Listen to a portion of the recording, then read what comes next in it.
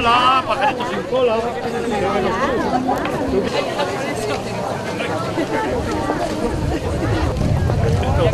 Me mandan un mensaje a...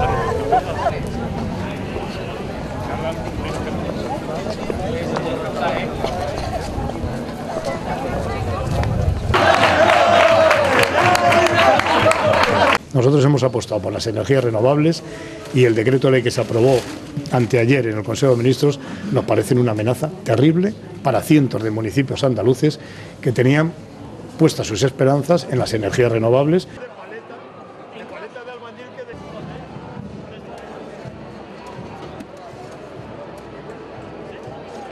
Significa ya el comienzo de una semana que va a ser bastante intensa porque tenemos un congreso y a partir de ahí de una pre-campaña, de una campaña y una victoria electoral del Partido Socialista.